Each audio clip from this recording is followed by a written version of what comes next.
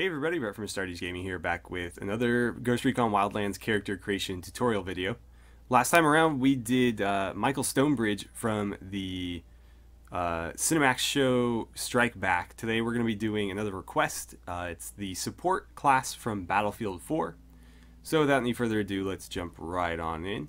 Um, first thing we want to do is, uh, of course, go to the clothing. Um, this is, you know, a very generic character, so as far as body details, whatever you want is absolutely fine, whether you want tattoos, different hairstyles. It makes no difference. Most of it you're not going to see anyways. Um, so clothing, I'm actually going to leave the shirt for last because this is sort of something I've been going back and forth on. So we'll kind of come back to that later. Um, as far as the vest goes, either the MOLLE that we currently have on there or the IBA I think is going to be the best choice. I'm going to go with the IBA here. And then it should be multicam or like a sandstone color. Um, you can kind of take your pick. Um, the vest on the character does have some camouflage, but it's very, very subtle. Um, so this might be too much, but it's it's your call. It's your character. So I'm gonna go with the multicam. We'll see how it looks. Maybe we'll change it to the sandstone after. But it should be sort of like this kind of khaki color.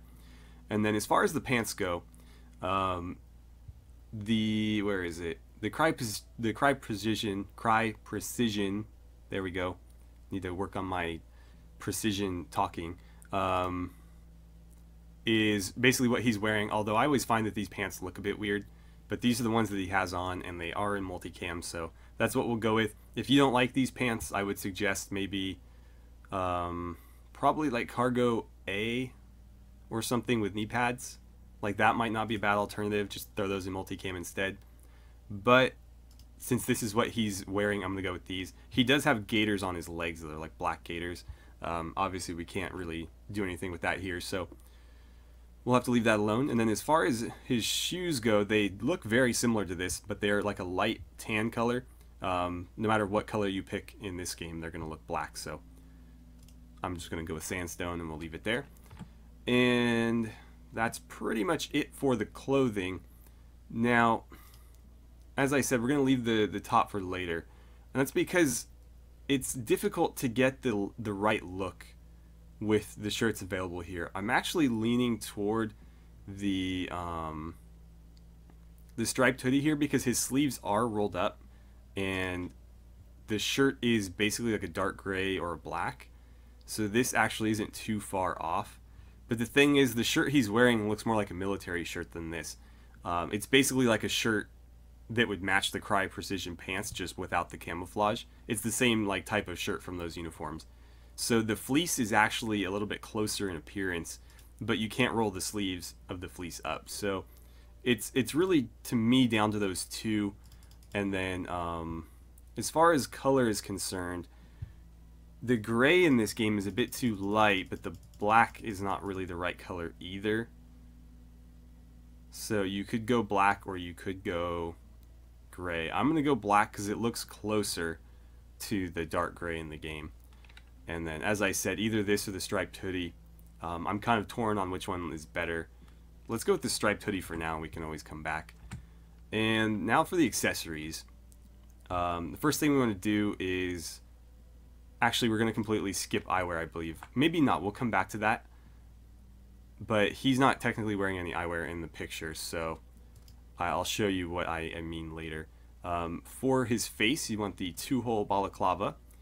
Unfortunately, he's wearing one of these and a neck scarf, and you can't have both. So in this case, you're going to have to decide which one you prefer. Do you want the neck scarf or do you want the face mask?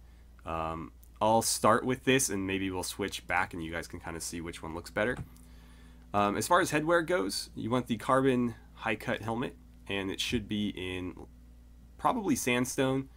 Um, yeah, I would say sandstone.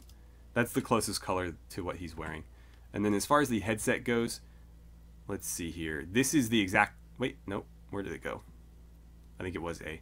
It just loaded slow there. Yeah, so it's headset A, and it should be Coyote Brown. Alright then, and as far as handwear goes, the Oakley Pilots are the right gloves, but you want them in sandstone as well.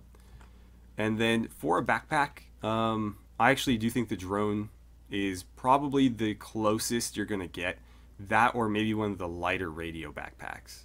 So actually this one is pretty good. We'll go with this one. And um, it should be... God, the sandstone is so dark, isn't it? We'll go multicam here.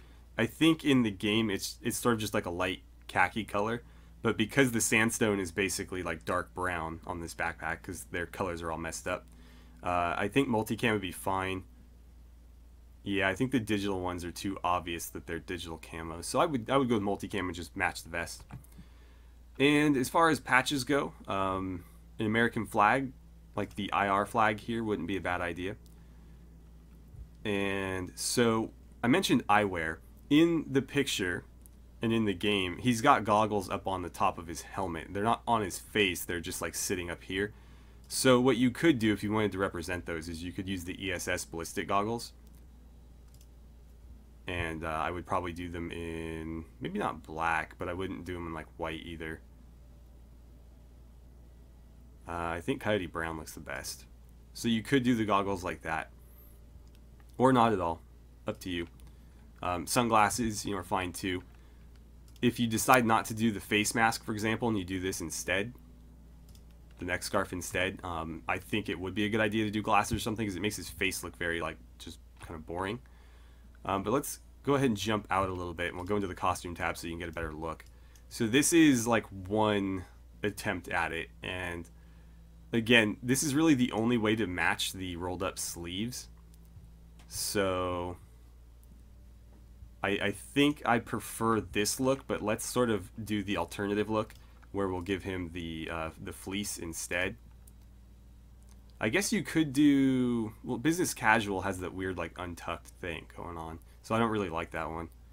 We'll stick to the fleece in black, and then we'll go back to accessories. Rather than the neck scarf, we'll do this, and we'll put the goggles on too. So this is like option B, or some parts of option B anyway. So that's like the alternative look. I think they both look alright. I do like the fact that you could get the patches and stuff on this shirt, so that's one plus to it. But I always think that these gloves look really odd with it.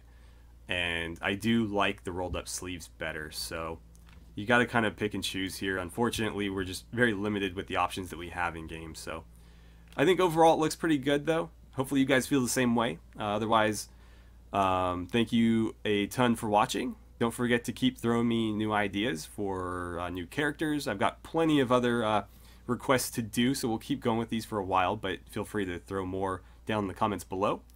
Uh, thanks again for watching, and I will see you guys next time.